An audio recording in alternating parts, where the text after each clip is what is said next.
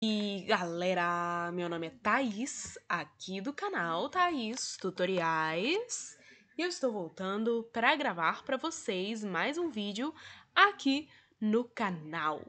No vídeo de hoje, eu vou te ensinar como ver as solicitações de amizade que eu enviei no Facebook. Por exemplo, você mandou é, várias solicitações de amizade para várias pessoas e você quer, por exemplo, retirar essa solicitação de amizade, quer cancelar, mas você não está achando onde você vai ver, onde você vai encontrar essas solicitações. Eu vou te mostrar, tá? Primeiramente, tem que ser feito pelo computador.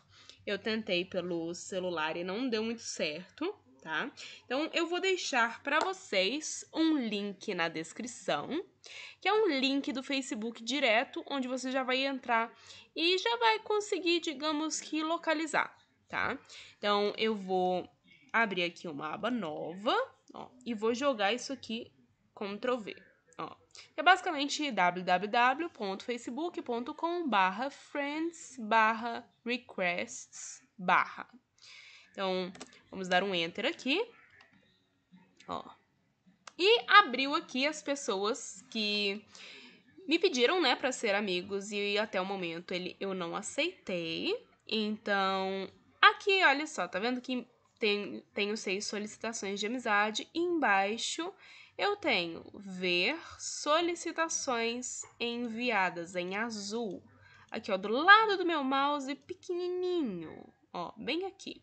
Então, vamos clicar nessa opção, ó, e solicitações enviadas. Ao momento, eu tenho 12 solicitações enviadas e que não foram aceitas, né? Tinha gente aqui que eu nem lembrava mais de ter pedido, então vou fazer vários cancelamentos aqui. Então, a partir daí, é só você cancelar tá? Que aí você vai conseguir que essas pessoas não vejam essa solicitação. Então, se foi algo que você pediu agora e você já desistiu, você pode retirar a solicitação, como eu fiz com todas essas pessoas, tá? Então, a partir daí, pronto, galera. Tá visto, é isso que você vai fazer. É, assim que você localiza as solicitações que você solicitações de amizade que você enviou no Facebook, como você cancela elas também.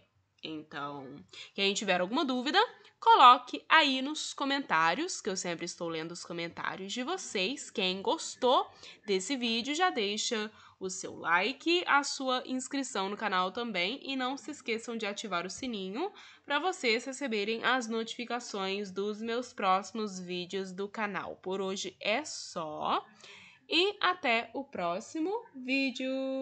Tchau, tchau!